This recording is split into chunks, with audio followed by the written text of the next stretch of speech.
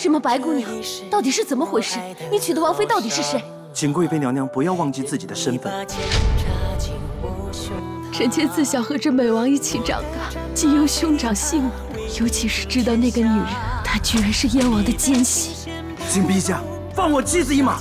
妻子？为了一个奸细，在朝堂上公然顶撞陛下。